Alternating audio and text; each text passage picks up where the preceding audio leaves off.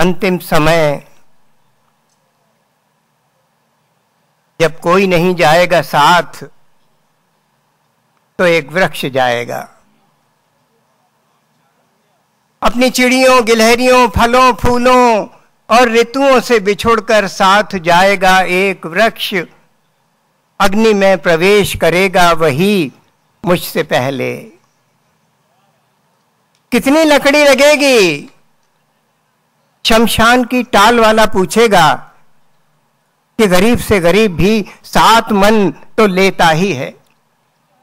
तो लिखता हूँ अंतिम इच्छाओं में कि सिर्फ़ बिजली के दाहगर में हो अंतिम संस्कार, ताकि मेरे बाद एक बेटे और एक बेटी के साथ एक वृक्ष भी बचा रहे संसार में।